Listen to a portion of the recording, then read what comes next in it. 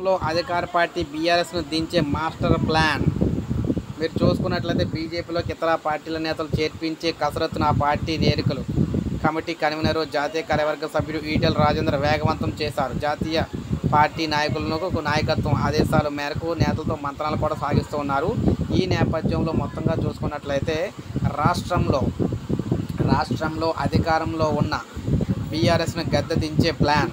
భేటీ సందర్భంగా బీఆర్ఎస్ను ఓడించేందుకు బీజేపీ వద్ద ఉన్న ప్రణాళిక ఏమిటి? ఇందుకోసం ఎలాంటి కార్యాచరణ ప్రణాళిక రూపొందించబోతున్నారు అనేవన్నీ కూడా మొత్తంగా అయితే బయటికి రాబోతున్నాయి. వచ్చే ఎన్నికల్లో బీఆర్ఎస్ ఓటమే తమ ప్రధాన లక్ష్యమని దాన్ని సాధించగలిగే పార్టీ నాయకత్వం వెంటనే వెళ్ళేందుకు తాము సిద్ధమని వారి ఈటలకు అయితే చెప్పినట్లు తెలుస్తుంది. ఈ దిశగా బీజేపీ ఏ మేరకు సిద్ధమైందని బీఆర్ఎస్ను గద్దె దించేందుకు ఎలాంటి కార్యాచరణ అమలు చేయబోతుందనే దానిపై మరింత స్పష్టత అయితే రావాల్సి అయితే ఉందన్నమాట. వీటిల సమాధానాలతో సంతృప్తి చెందిన చందని పొంగులేటి జూపల్లి బీజేపీలో చేరికపై నిర్ణయం తీసుకునేందుకు మరికొంత సమయం కోరుతున్నారు.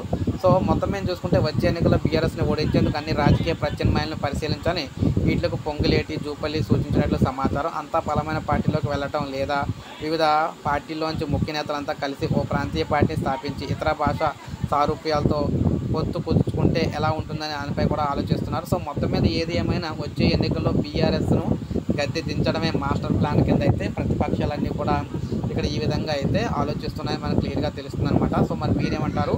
బీఆర్ఎస్ మళ్ళీ గెలుస్తుందంటారా? లేదంటే బీజేపీ గెలుస్తుందంటారా? కామెంట్ రూపంలో తెలియజేయండి ఒక లైక్ చేయండి సబ్స్క్రైబ్ చేసుకోకపోతే మన ఛానల్ సబ్స్క్రైబ్ చేసుకొని ఫాలో అవుతుండండి.